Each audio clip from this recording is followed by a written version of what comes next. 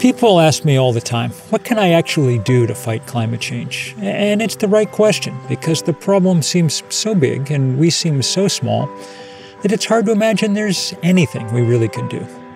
For years, environmental groups focused on individual actions new light bulbs, different cars. Those changes are useful. The roof of my house is covered with solar panels. I can plug my car into them. I'm glad about that.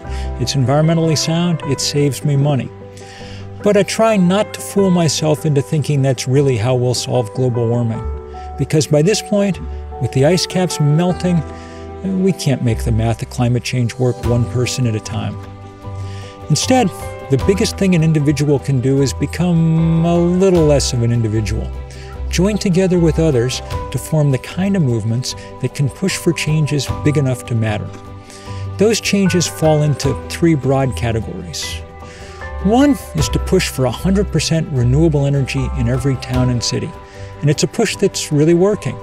Diverse cities from Atlanta to San Diego, from Salt Lake to Portland, have all announced they're going to go fully renewable.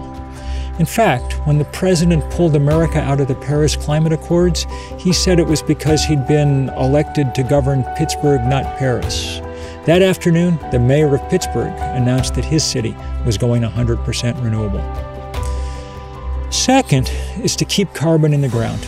Scientists have made it clear that at least 80% of known reserves of coal and oil and gas have to stay underground if we're to have any hope of meeting the climate goals the world has agreed on. That's why we fought so hard against things like the Keystone XL and Dakota Access pipelines, or, or for a moratorium on new coal mines on public land. We win a lot of these fights around the world, and every time we put up a fight, we slow down the fossil fuel industry, giving the engineers another year or two to drop the price of clean energy even further. And third, we work to staunch the flow of money to the fossil fuel industry. Our biggest tool is called divestment, convincing cities, states, universities, foundations, corporations to sell the stock they hold in fossil fuel companies. This tactic, uh, pioneered in the fight against apartheid, really works. New studies show it has focused attention on climate change and drained companies of some of the money they need for further exploration.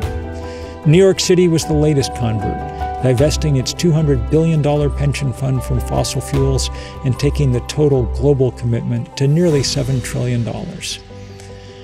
These are big goals. We can only accomplish them through movements. That's why we join together, all around the country and all across the planet.